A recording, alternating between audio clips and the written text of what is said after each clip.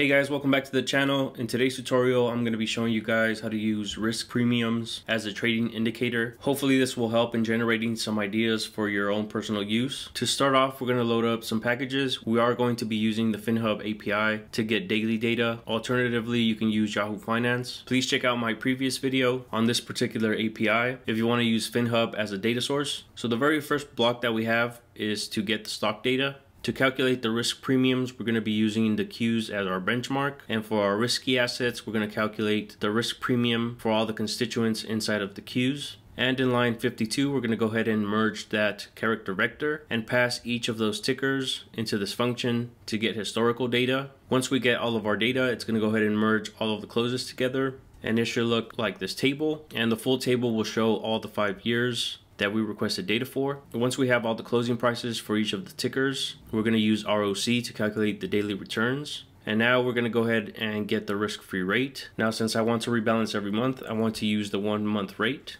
We're going to request that rate from Fred, and this will be the symbol for the one month. We're going to go ahead and assign it into our global environment. We're going to use NALOCF to fill any NAs, and then we're going to convert this to a daily rate since it gets returned as an annual rate. So to do that, I'm just going to simply divide it by 100 and then divide it by 360. And in order for my stock data and rate to have the same index, I'm just going to pass the index of my stock data so it only grabs those dates. Now, once we have this loaded up, we can go to the next block, which will calculate the risk premiums. And I'm going to be using the CAPM risk premium function inside of performance analytics. And the first thing I do is merge all my returns for the stocks along with the risk-free rate. I'm going to fill any NAs with zero, and then I'm going to compute the risk premiums for all the stocks by passing in our returns. And for the function, I'm going to be applying it to all the stocks inside of returns. And for the risk-free rate, I'm going to be using our monthly T-bill rate and you should get a table looking like this one. So as you see, we have monthly risk premiums for all the stocks.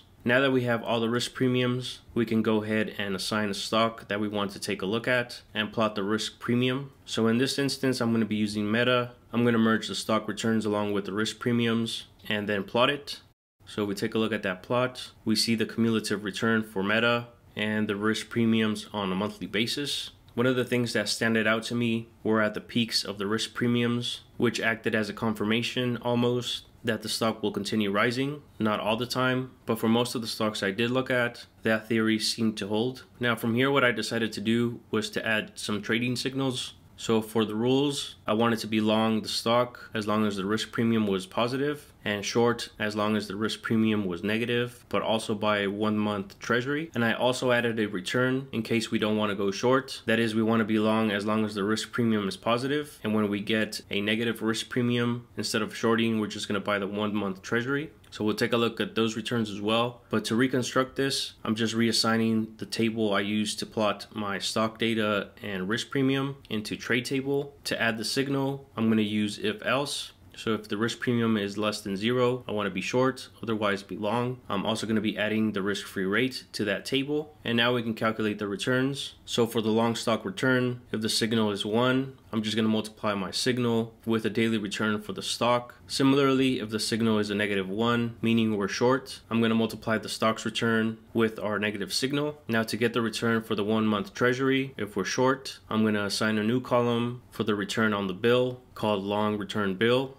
I'm going to grab all the endpoints at the end of each month when we would typically rebalance. Now we're going to pass those endpoints into our trade table to extract whether or not we have a short signal. If we do have a short signal, I'm going to multiply the daily rate of the T-bill times 28, which is the holding time for these bills, and that would be our total return for that T-bill over the month. Next, I'll add a return for the long stock and T-bill in case we don't want to short, which would be just to add the long stock return plus our return on the bill now, if we are shorting, then I'm going to be using 50-50 allocation between shorting and purchasing our bill. So I just added the weights there. Now to get the total return for the trading strategy, I'm going to add the long stock return, the short stock return, plus the return on the T-bill. Now if we aggregate all of those returns and plot them against the benchmark, we will see the total returns are split The benchmark here is Meta, which represents just buying and holding over this time period. Our red line that we see is our long stock return when our risk premium is positive only. The magenta line you see above it is our return for the long stock and long our T-bills, which does not implement shorting. The green line represents our cumulative return for our shorting position only. This blue line that we see is the total return for our T-bills. And if we were to implement this trading strategy on Meta, then our total return for being long when our risk premium is positive and short when the risk premium is negative, along with purchasing a T-bill when we have a negative risk premium, then our cumulative return would be this blue line.